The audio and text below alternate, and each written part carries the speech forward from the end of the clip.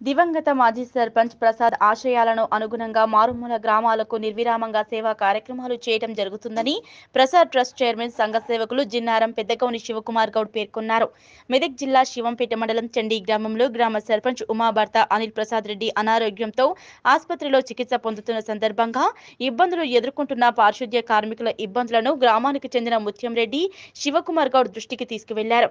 వెంటనే స్పందించిన Prasad trust chairman high court ప్రముఖ న్యాయవాది శివకుమార్ గౌడ్ ట్రస్ట్ ఆధ్వర్యంలో బియ్యం నిత్యావసర సరుకులు అందజేశారు. ఈ సందర్భంగా పారిశుద్ధ్య కార్మికులు శివకుమార్ గౌడ్కు కృతజ్ఞతలు తెలిపారు. ఈ కార్యక్రమంలో ఉప సర్పంచ్ ఎల్లం టీఆర్ఎస్ నాయకులు ముత్యం రెడ్డి పాల్గొన్నారు. అనిల్ ప్రసాద్ గారు చాలా ఉత్తములు. మన చండి గ్రామానికి నిరంతరము సేవలు అందించారు చివరి వరకు కూడా సేవలు అందిస్తూనే ఉన్నారు. మాతో కూడా కొన్ని కార్యక్రమాలు నిర్వహించారు. ఇక్కడ చండీ దేవాలయాన్ని కూడా మేము అక్కడ గ్రిల్ అవన్నీ చేయించాము. వాల్స్ కూడా కన్స్ట్రక్షన్ చేసాము అది ఇన్స్టాల్ చేసి ఉండే.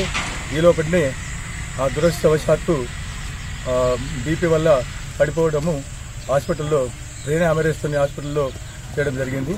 మనమందరం కూడా ఈ సమయంలో ఆయన హాస్పిటల్లో ఉండడం వల్ల ఇక్కడ గ్రామ పంచాయతీ సిబ్బంది కొద్దిగా ఈ సాలరీస్ రాక ఇబ్బంది పడుతున్నారని చెప్పి ముత్తంరెడ్డి గారు చంద్రీ గ్రామానికి సంబంధించిన ముత్తంరెడ్డి గారు నా దృష్టికి తీసుకురాగానే సరే వాళ్ళకు కొన్ని సరుకులు నేను నిత్యావసర సరుకులు ఇద్దామని చెప్పి అనుకున్నాము.